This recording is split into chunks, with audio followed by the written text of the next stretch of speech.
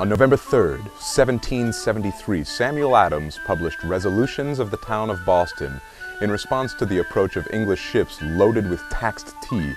In the article, he declared that any who paid the required duty on the tea would become enemies of America. That same day, a crowd of hundreds gathered round Boston's Liberty Tree to demonstrate their opposition to the Tea Act. From the tree, the protesters marched to the waterfront and presented East India Company agents with letters of resignation, complete except for their signatures. These actions did little to dissuade the tea consignees. The Patriots' destructive efforts a month later were a bit more effective.